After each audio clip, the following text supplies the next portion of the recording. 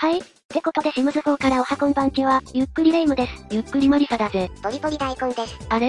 引っ越し？そう、ちょっとね大変なのよ。なんかもう色々と、うぷ主、はい。説明してあげて、すげえ無茶ぶりしやがったな。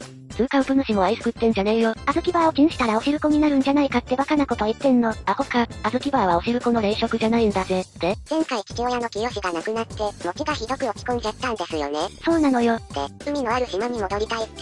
そうか父親を失ったショックと、ホームシックならぬ海シック。さらに、え、まだあんの？彼女がいたでしょ？いたいた、デートすれば気晴らしに。彼女、高校卒業しちゃったんですよ。そうだ、年上だったぜ。高校生と大人はお付き合いができないのよ。うーん確かに色々と大変だな。ちょっと気晴らしが必要ですよね。そうだな。ってことで高校卒業するまで、もちは一人暮らしをします。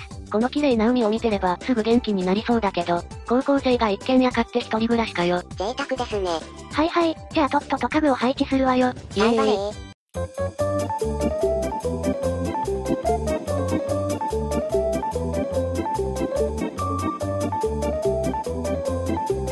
嗯。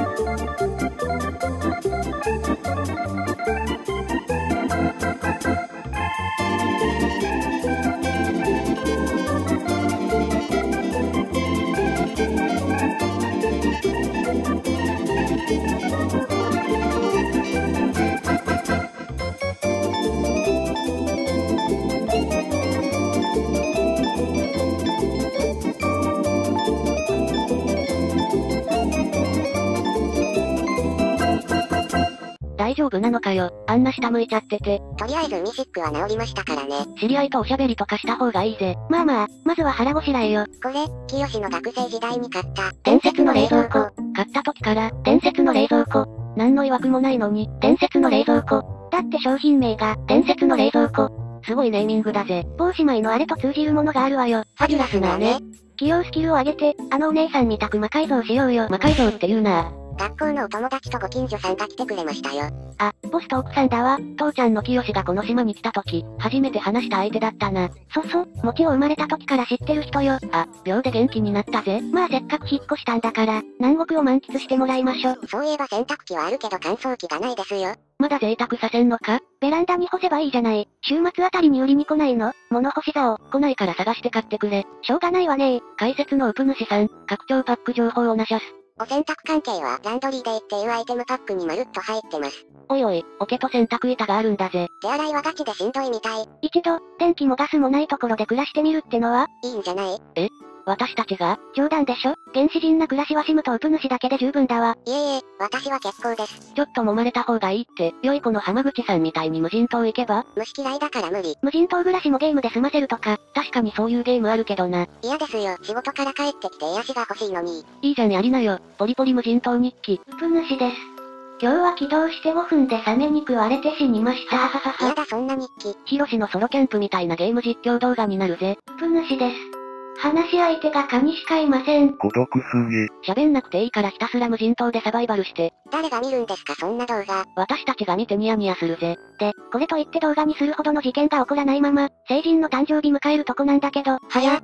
親の教育が良かったおかげで、行儀が良くて責任感が強い大人に成長しましたね。多分これは母ちゃんのおかげなんだぜ。あれ？これペニーさん。うおー、母ちゃんがばあちゃんになってる。離れて暮らすと、親が年取ったのもわからないわね。たまに電話かかってきて顔見せろって言われたぐらいか財産もあるから一緒に暮らした方がいいんじゃない？あの実家狭いから、もう少し広い家がいいぜ。それもそうね彼女ともお付き合い再開でしょ。お付き合いどころかすぐにでも結婚できるくらいよ。親の代は先に子供作っちゃいましたけど、今回は、今回は順番通りにしたら？と思って、彼女のご両親にご挨拶に行ったんだけどね。おう、彼女が暗い表情で出てきて、ご両親の骨壺にご挨拶してきたわよ。うわ、切ないんだぜ。ってことで、とっとと結婚する予定よ。それがいいですね。物干しが多い感じだぜ。スローライフって感じね。おい、女物のおパンツ干してるぜ。ワンピースも、だ、誰の？聞けないわよそんなの。